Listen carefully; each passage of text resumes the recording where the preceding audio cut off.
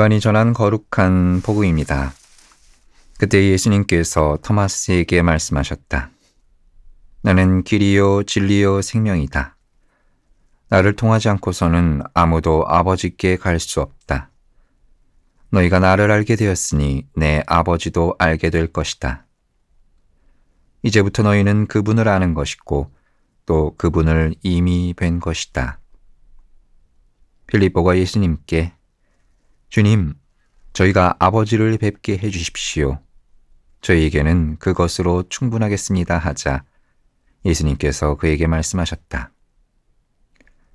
필리포야, 내가 이토록 오랫동안 너희와 함께 지냈는데도 너는 나를 모른다는 말이냐? 나를 본 사람은 곧 아버지를 뵌 것이다.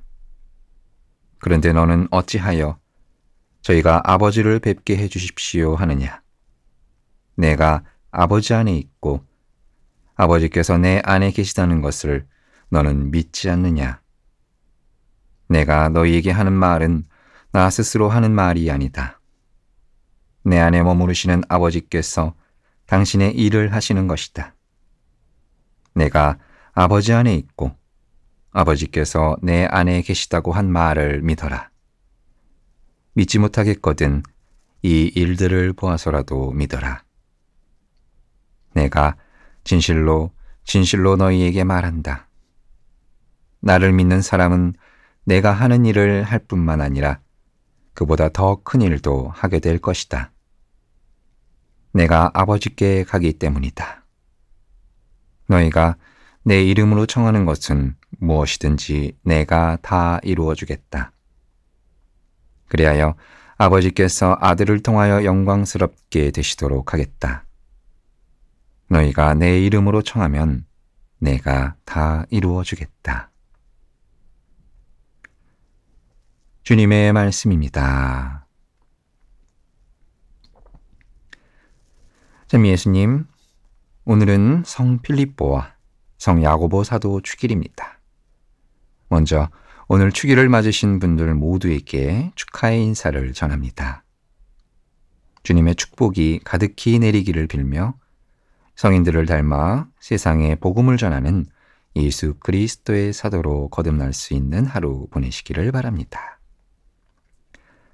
예수님의 열두 제자 가운데 야고보라는 이름이 둘이 있는데 오늘은 우리가 축일을 지내는 사도, 바로 작은 야고보로 불리는 사도로 제베데오의 아들이 아닌 알페오의 아들 야고보입니다. 그는 야고보 서간을 저술한 사도이기도 하지요. 갈릴레아 베사이다 출신인 필리포 사도는 나타나엘을 예수님께 데려온 사도로서 요한복음서에 자주 등장합니다. 오늘의 복음소 예수님과의 대화를 주도하는 인물로 그는 주님, 저희가 아버지를 뵙게 해 주십시오.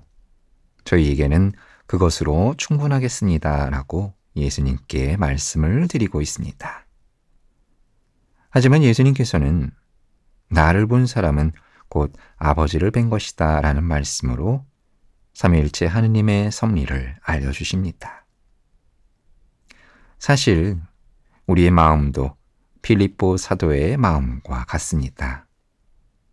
세례를 받고 그리스도인의 삶을 살아가는 신앙인으로서 혹은 믿음을 갖지 않은 이들일지라도 신을 만나고 싶은 마음, 아버지 하느님을 뵙고 싶은 마음은 인간이 가진 본능이자 열망 가운데 하나임이 분명하기 때문입니다.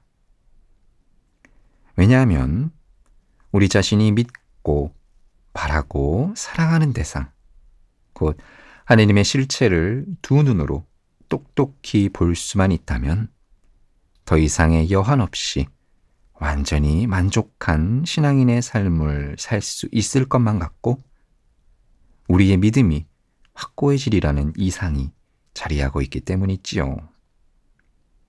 그러나 예수님께서는 내가 아버지 안에 있고 아버지께서 내 안에 계시다고 한 말을 믿어라. 믿지 못하겠거든 이 일들을 보아서라도 믿어라 라고 하시며 예수 그리스도를 본 것이 곧 아버지 하느님을 본 것이라는 신앙의 진리로 우리를 이끌어 주십니다. 이 말씀 안에는 항상 예수님을 바라보면서도 그 안에 계신 하느님을 놓치고 있는 우리의 유한함과 한계를 알려줌과 동시에 세상 사람들이 우리를 보면서 예수 그리스도를 볼 수 있도록 해야 하는 그리스도인의 사명, 사도로 부르심받은 신앙인의 사명 또한 알려주고 있다는 것을 명심해야 합니다. 복음 안에서 말씀하신 것과 같이 예수님께서 지금도 하고 계신 아버지의 일이란 지금 이 세상 속에서 살아가는 교회가 예수님을 통해 하느님 아버지를 보여주고 교회를 통해 그리스도의 빛이 온 세상에 밝히 드러날 수 있는 약속을 이루어 주시는 일이기 때문입니다. 오늘 하루 성 필립보 사도와 성 야고보 사도께 전구를 바치며 우리도 예수 그리스도의 죽음과 부활의 복음을 전하는 주님의 제자로 굳건히 살아나갈 수 있기를 기도해 봅시다.